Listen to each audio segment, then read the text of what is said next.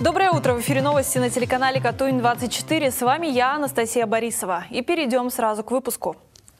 110 новых случаев заболевания COVID-19 зарегистрировано в Алтайском крае. По данным оперативного штаба, выздоровело 94 пациента. Также зафиксировано 9 смертей, 7 из них от коронавирусной инфекции. Всего же в крае 46,5 тысяч инфицированных, из них почти 41 тысяча выздоровели. Полторы тысячи человек с подтвержденным коронавирусом проходят госпитальное лечение. Кроме того, 380 пациентов с подтвержденной вирусной пневмонией находятся на лечении в ковидных госпиталях. По данным оперштаба, тяжелобольных 298 пациентов, на аппаратах ИВЛ 92. В Алтайском государственном техническом университете прошла очная защита научных проектов финалистов регионального этапа Всероссийского конкурса «Большие вызовы». Он организован детским технопарком Алтайского края «Кванториум-22».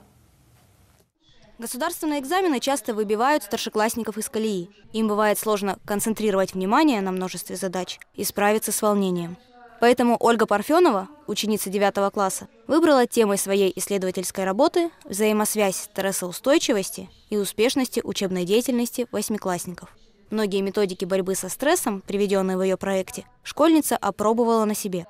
Когда начинаешь разбираться в себе, рассматривать тему, которая тебя интересует, конечно, ты сам меняешься, и с чистого листа ты как будто сам начинаешь жизнь, когда пишешь этот проект – в прошлом году я не могла даже поговорить с одним человеком, а теперь уже, конечно, хоть коленки и дрожат, но выступаю перед целой аудиторией. Конкурс «Большие вызовы» собирает все больше школьников седьмых-одиннадцатых классов. В этом году члены жюри рассмотрели около 70 работ из пяти городов и 15 районов края. Участники обращаются к широкому спектру тем – охватывающих практически все стороны человеческой жизни. Это события Великой Отечественной войны, жизнь пчел и даже прокрастинация. В финал конкурса вышли 24 автора.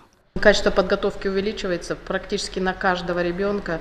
Есть э, не только руководитель, это педагог по какому-то предмету, но еще и консультант из вуза, обязательно доктор или кандидат наук. Поэтому работа очень качественная, не включает и математическую обработку серьезную, статистический анализ опытной экспериментальной работы. Победители регионального этапа будут претендовать на участие в общероссийской научно-технологической программе «Большие вызовы». Ежегодно ее проводит образовательный фонд «Талант и успех» на базе образовательного центра «Сириус» в Сочи. Юлия Шаламова, Михаил Лифуншан. Новости. Сегодня в Государственном художественном музее Алтайского края пройдет лекция «Русский испанец Пабло Пикассо в России и СССР». На ней слушатели узнают, что могло объединять испанского художника, живущего во Франции, и Советский Союз. Этот художник никогда не был в России, но был женат на русской балерине Ольге Хохловой и дружил с композитором Игорем Стравинским. А русские коллекционеры сформировали в Москве уникальную коллекцию его работ. Впоследствии она повлияла на развитие русского авангардного искусства. Встречу проведет научный сотрудник музея Виктория Крылова. Начало лекции в 14 часов по адресу Максима Горького, 16. Всей семьей идем в музей. Государственный музей истории, литературы, искусства и культуры Алтая подготовил программу выходного дня. Часу до двух часов дня пройдет обзорная экскурсия по постоянной экспозиции «Театральная история Барнаула 1920-80-е годы». В ней представлены материалы музейного фонда, раскрывающие главные события театральной истории Барнаула советского периода.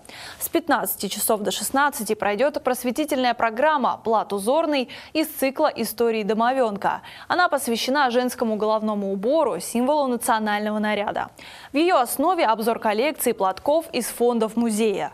В это же время пройдет музейно-концертная программа из цикла «Музыкальные встречи в Белом зале». И на этом я с вами прощаюсь. В студии была Анастасия Борисова. Еще больше новостей на нашем сайте katuin24.ru. Не переключайтесь и оставайтесь с нами.